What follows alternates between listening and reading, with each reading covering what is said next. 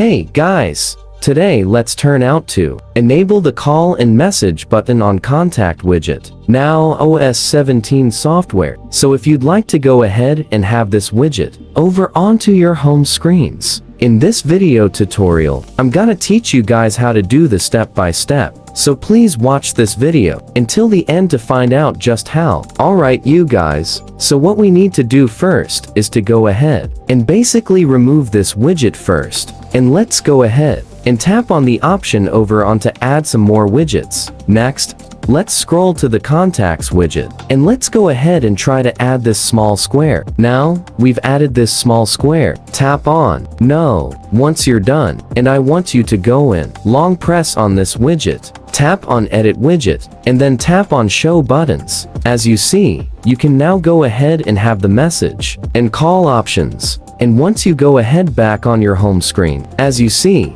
we have those two buttons already on our home screens. And that's how you guys could add the enable call and message widget over on your home screen on the contact widget on iOS 17. Thank you guys for watching this video. Please like this video and subscribe as well if you guys learned something. And I'll see you guys on the next video. Take care.